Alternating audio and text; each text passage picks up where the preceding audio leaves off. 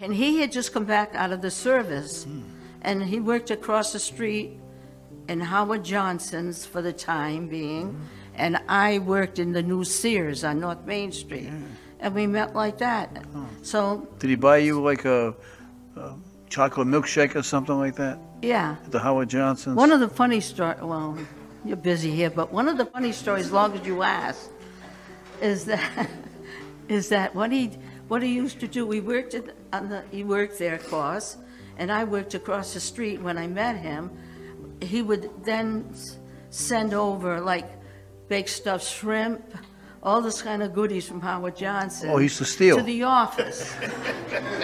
And then all my friends would gather around and we would eat it at lunchtime. Oh. Inspector Quinn, she was an accessory to a crime.